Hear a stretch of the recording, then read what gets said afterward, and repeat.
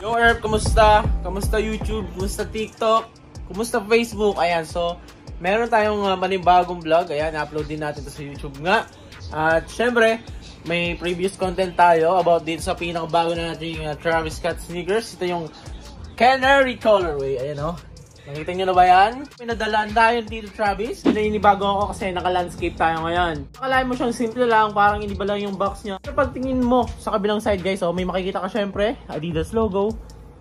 At Stasi logo guys. Closer look. Ayan. Habang uh, on fit ang ating Tito Travis unreleased dyan. Lupit no? So ito na siya guys. Ayan, walang iba kundi ang Adidas Samba Ecstasy. Ecstasy, kung anong pronunciation yan. Literal combination ng black and white, parang panda yung datingan niya. Kaya lang, ang nagdala talaga sa disenyo na ito, ah, syempre, yung collaboration niya, which is, makikita mo dito yung logo niya.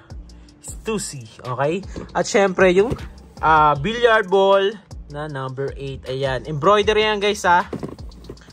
Ayan, nakatahi yan guys. So, number 8. Sikat na sikat yung logo na to na makikita nga natin sa mga iba't ibang klase ng uh, apparel nila katulad ng uh, damit, jackets, or hoodie. So makikita natin itong mga logo na to. Pansin natin dito sa may bandang to. Kaya meron siyang ditong logo na paikot no. Tapos embroidery yung pagkakagawa sa kanya. Pagdating sa tong, meron din kakaibang logo dyan. Check nyo na yung insole, ganun din. Same lang ng logo sa tong. Pansin nyo naman yung back part niya guys. Ayun no.